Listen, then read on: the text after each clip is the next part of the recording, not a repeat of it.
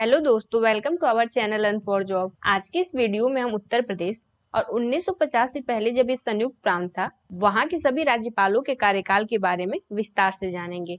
तो दोस्तों video start करने से पहले आपको मैं बता दूँ, मेरी वीडियो से जुड़ी अपडेट्स के लिए आप मेरे सोशल मीडिया हैंडल को ज्वाइन एंड फॉलो कर सकते हैं। और दोस्तों, अगर आप अपने इस चैनल को सपोर्ट करना चाहते हैं तो आप यहाँ ज्वाइन बटन पर क्लिक करके चैनल को सपोर्ट कर सकते हैं। तो बिना किसी डिले के वीडियो स्टार्ट करते हैं।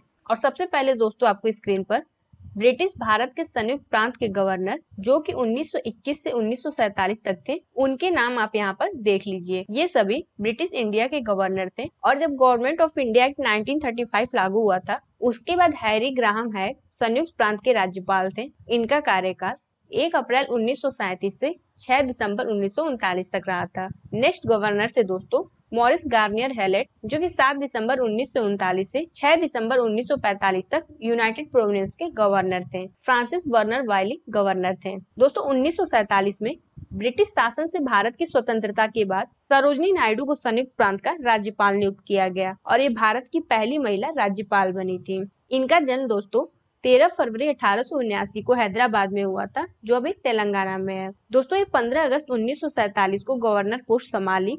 और 2 मार्च उन्नीस सौ उनचास तक, यानी कि अपने निधन तक, इस पद पर रही थी। और इनके निधन के बाद कुछ समय के लिए, दोस्तों, जस्टिस बीबी मलिक 3 मार्च उन्नीस से 1 मई उन्नीस सौ उनचास तक राज्यपाल रहे थे। और फिर एच पी मोदी 2 मई उन्नीस से 25 जनवरी 1950 तक यूनाइटेड प्रोविनेंस के लास्ट गवर्नर रहे थे।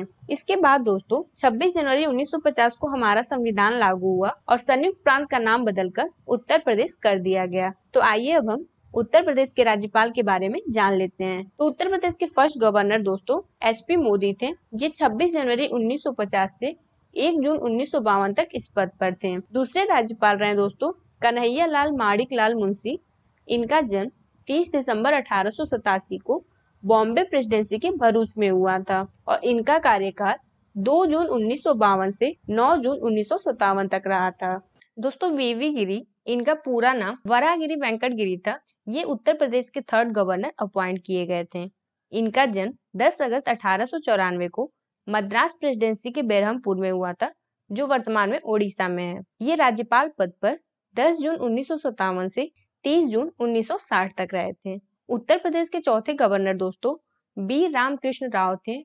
इनका कार्यकाल 1 जुलाई 1960 से 15 अप्रैल उन्नीस सौ बासठ तक रहा। दोस्तों विश्वनाथ दास पांचवे राज्यपाल अपॉइंट किए गए थे। इनका जन्म 8 मार्च अठारह सौ नवासी को मद्रास प्रेसिडेंसी के गंजम डिस्ट्रिक्ट में हुआ था। इनका कार्यकाल 16 अप्रैल उन्नीस से 30 अप्रैल उन्नीस सौ सड़सठ तक रहा था। और आपको बता दें कि ये बाद में वर्ष 1971 और 1972 में ओडिशा के मुख्यमंत्री रहे थे। इनके कार्यकाल के बाद दोस्तों, बिजवाड़ गोपाल रेड्डी छठवे राज्यपाल थे। इनका जन्म 5 अगस्त 1907 को मद्रास प्रेसिडेंसी के नेलोर में हुआ था। ये 1 मई उन्नीस सौ सड़सठ को अपॉइंट किए गए थे और 30 जून उन्नीस सौ बहत्तर तक इस पद पर थे। दोस्तों, जस्टिस शशिकांत वर्मा 1 जुलाई उन्नीस सौ बहत्तर से 13 नवंबर उन्नीस सौ बहत्तर तक उत्तर प्रदेश के राज्यपाल थे। उत्तर प्रदेश के आठवें गवर्नर अकबर अली खान थे। इनका जन्म 20 नवंबर अठारह सौ निन्यानवे को हैदराबाद में हुआ था और इनका कार्यकाल 14 नवंबर उन्नीस सौ बहत्तर से 24 अक्टूबर 1974 तक रहा था। मैरी चन्ना रेड्डी दोस्तों, उत्तर प्रदेश के नौवे राज्यपाल थे। इनका कार्यकाल 25 अक्टूबर 1974 से 1 अक्टूबर 1977 तक रहा था। दोस्तों, दसवें राज्यपाल गणपत राव देवजी तापसी थे। इनका गवर्नर टर्म 2 अक्टूबर 1977 से 27 फरवरी 1980 तक रहा। चंदेश्वर प्रसाद नारायण सिंह उत्तर प्रदेश के ग्यारहवे राज्यपाल थे।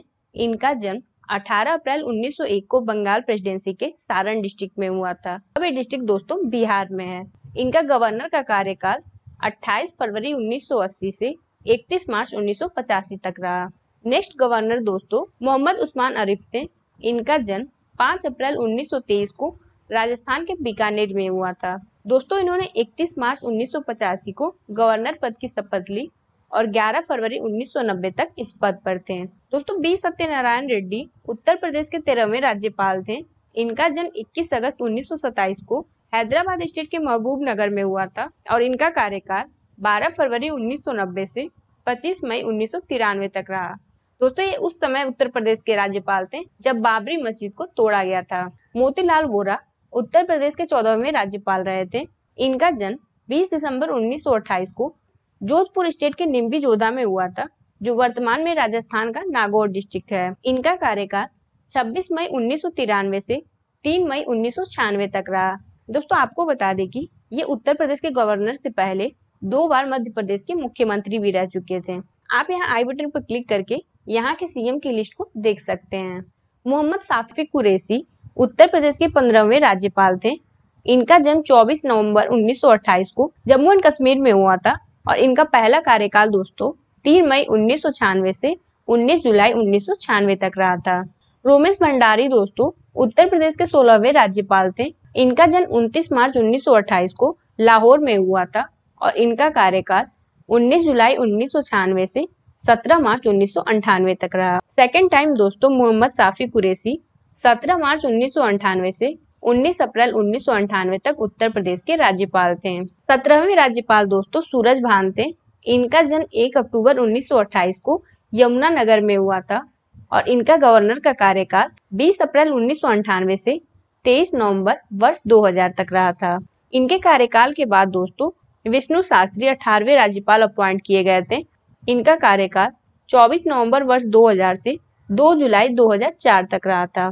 सुदर्शन अग्रवाल दोस्तों उत्तर प्रदेश के उन्नीसवे राज्यपाल थे। इनका जन्म 19 जून 1931 को लुधियाना में हुआ था एंड इनका टर्म ऑफ़ ऑफ़िस 3 जुलाई 2004 से 7 जुलाई 2004 तक रहा था। टीवी राजेश्वर दोस्तों उत्तर प्रदेश के बीसवे राज्यपाल थे। इनका जन्म 28 अगस्त 1926 को मद्रास प्रेसिडेंसी के सालिम डिस्ट्रिक्ट में हुआ था। दोस्तों ये डिस्ट्रिक्ट तमिलनाडु में है। इनका कार्यकाल 8 जुलाई 2004 से 27 जुलाई 2009 तक रहा था। और दोस्तों इन्हें 2012 में पद्म विभूषण से सम्मानित किया गया था। बनवारी लाल जोशी दोस्तों, उत्तर प्रदेश के इक्कीसवे राज्यपाल थे। इनका जन्म 27 मार्च 1936 को राजस्थान के नागौर डिस्ट्रिक्ट में हुआ था।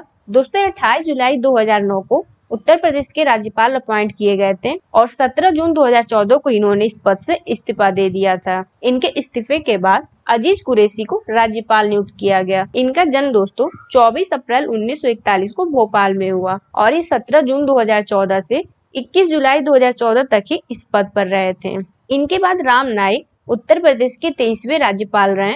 इनका जन्म 16 अप्रैल 1934 को बॉम्बे प्रेसिडेंसी के अटपड़ी में हुआ था और इनका कार्यकाल 22 जुलाई 2014 से 28 जुलाई 2019 तक रहा। दोस्तों, उत्तर प्रदेश की वर्तमान राज्यपाल आनंदी बेन पटेल हैं और इनका जन्म 21 नवंबर 1941 को बॉम्बे प्रेसिडेंसी के बीजापुर में हुआ। और इन्होंने अपना पद संभाला 29 जुलाई 2019 से। दोस्तों, ये गुजरात की पहली महिला मुख्यमंत्री भी रह चुकी हैं।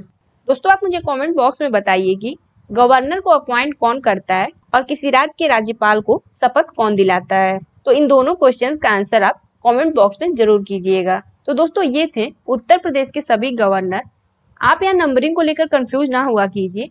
अगर आप स्वतंत्रता के बाद यूनाइटेड प्रोविंस और उत्तर प्रदेश के सभी गवर्नर को काउंट करेंगे तो ये नंबरिंग चेंज हो जाएगी। और दोस्तों, अगर आप उत्तर प्रदेश के सभी मुख्यमंत्रियों के बारे में जानकारी चाहते हैं तो आप यहाँ आई बटन पर क्लिक करके देख सकते हैं। तो दोस्तों, अगर आपको ये वीडियो यूजफुल लगी हो तो वीडियो को लाइक और ज़्यादा से ज़्यादा शेयर ज़रूर कीजिएगा। और अगर आप हमारे चैनल पर पहली बार आए तो हमारे चैनल लर्न फॉर जॉब को सब्सक्राइब करना ना भूलिएगा। इस वीडियो को देखने के लिए आपका बहुत बहुत धन्यवाद।